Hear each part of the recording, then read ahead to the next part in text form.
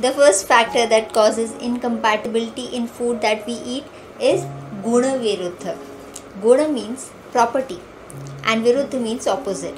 So when you combine two foods that have conflicting properties, then these foods they come together to form an incompatible combination called guna Viruddha.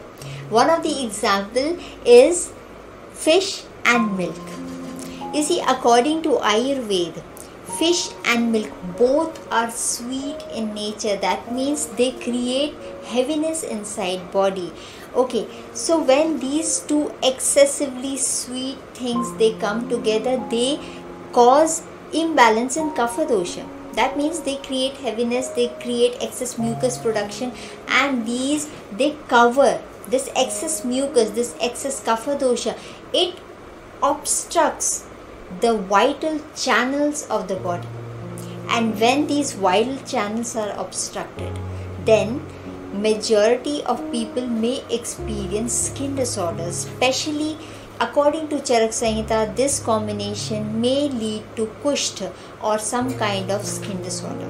And here it is important to clarify what do we mean by a combination. By this combination means cooking fish with milk or eating fish and milk together.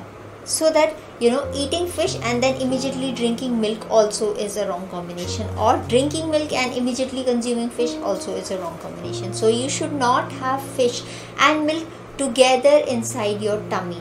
Because as the digestive system starts to process these two things they produce an excessive amount of kapha dosha excess mucus probably. And this mucus obstructs the vital channels and creates imbalance